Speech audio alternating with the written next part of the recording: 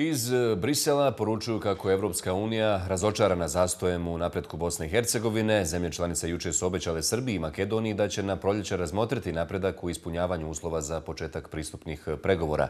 Bosna i Hercegovina je po ko zna koji put dobila negativnu ocjenu. Šefovi diplomatija zemalja članica Evropske unije u zaključku sa sastanka u Briselu pozitivno su ocijenili napredak koji su na evropskom putu postigle Makedonija i Crna Gora, dok je BiH dobila negativnu ocjenu. U izvještaju Evropske komisije navodi se da je Evropska unija razočarana zastojem napretka Bosne i Hercegovine u sprovođenju reformi, a posebno zbog nastavka secesionističke retorike i neispunjavanja mape puta predviđene za juni 2012.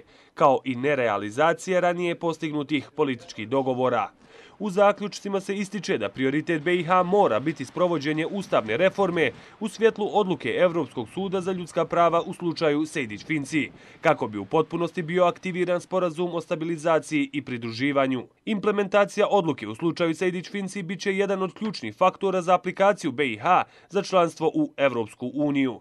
Zvaničnici Evropske unije pozvali su domaće lidere da intenziviraju napore u cilju ispunjavanja obaveza kako bi bili postignuti rezultati koji koji vode ka dobrobiti svih građana BiH.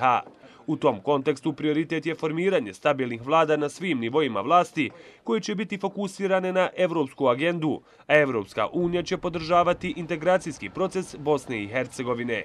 BiH je pozvana da ispuni sve potrebne uslove kako bi došlo do zatvaranja OHR-a, a Evropska unija će nastaviti da razmatra smanjenje ovlasti i premještanje tog međunarodnog predstavništva.